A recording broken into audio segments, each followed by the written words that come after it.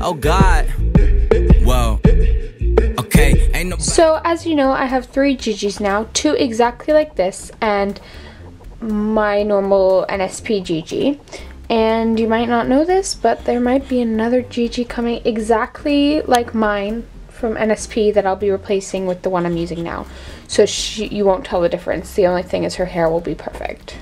If you're one of those people who freak out because of doll nudity, well, you're going to see it in this video because I don't want to get her hair all over it. So I'm going to be cutting all her hair off, but the fun part about cutting their hair off is you can like do things with it. But, like you can cut it really short and give her like a fringe just to see what it looks like and then completely cut it off. So I'm going to be taking off her clothes. So there we go.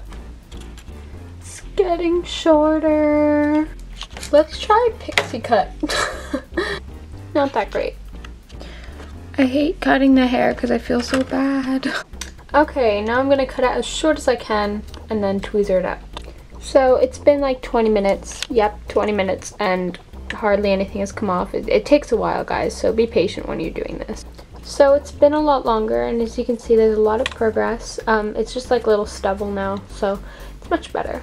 This is the wig cap. It's currently wet with glue. Um, if you want a tutorial on this, I can, but pretty much what I did is I put plastic to protect the doll on the first, I put on the doll, tied an elastic, then put a stretchy fabric here and put glue all around it with the elastic bands so it stays. And when it's done, I'll just cut it into shape. Um, the hair should be coming in a couple days, so I guess the next update will be in a couple days. Hey guys, I'm finally back. I know it's only been like a couple seconds for you, but finally, finally the hair came. This is a piece of it. Oh, it is so soft. Like, I can't describe how soft it is. It's like if, I guess, my dog's It's hair. super long and I like conditioned it. I feel like this is what it would feel like because I have an Australian Shepherd. If you don't know what that is, no one really does. But um, I have two of these. I don't know if it'll be enough, but hopefully it will.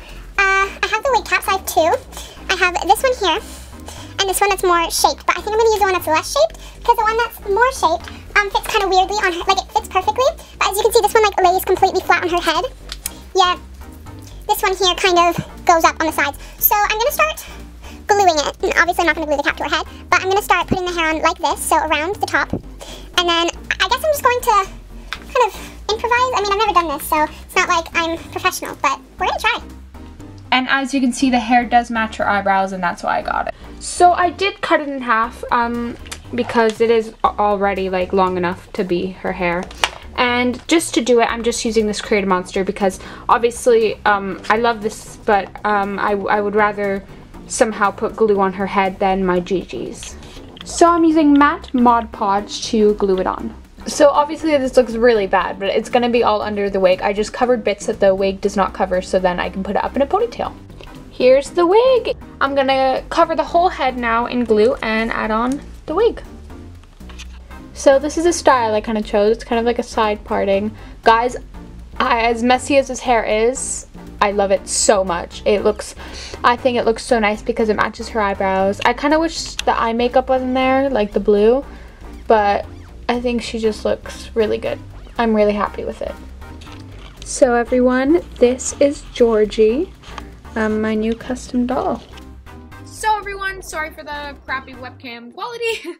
um, this is Georgie. I keep forgetting your name. Georgie. Got it. Got it. Um, I, I'm happy. I'm like, I didn't think it would end up good, honestly, but it did. Initially, it was supposed to be a wig that I could take off when I wanted, but then I was like, never mind, the wig just doesn't want to stay on anymore, so I just glued it on, which is fine. I love it.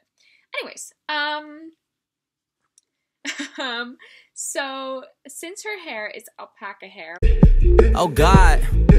Whoa. Okay, ain't nobody with my click, click, click, click, click.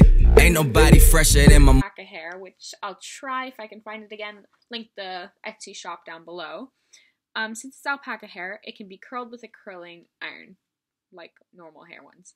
And usually on my hair, I use 360 degrees Celsius, but on her I use 180, which is Siri, what is. Oh my god, Siri, let me speak. Siri, what is 180 degrees Celsius in Fahrenheit? The answer is 356 degrees Fahrenheit. Got it. There you go. 356 degrees Fahrenheit for you Americans or whoever uses it. I don't know. I think it's the US probably. That's a lot. Like when I say 180, it's like yeah, it's really low. Like you, comment down below if you if you use Fahrenheit. If like when you say 360 degrees Fahrenheit, if that's a lot for you in the US. I don't know. Um. Anywho, do that that made no sense. I'm showing myself. Um I don't know, I'm kind of not. I'm like leaving the face out, but like at least you guys can see kind of that I'm not like an 80 year old man. um, so yeah. Um, do you guys want to see my face? Okay, ready? Three, two, one. All just kidding. Enjoy these blooper guys. Blooper? Bloopers. I guess this is a blooper. And here's all the hair. And this is jo- Oh. So soft. So I'm using matte Mod Podge. Oh God. Whoa.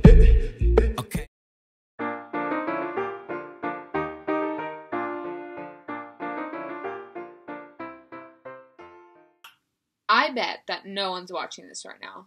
And I just filmed this whole thing for nothing.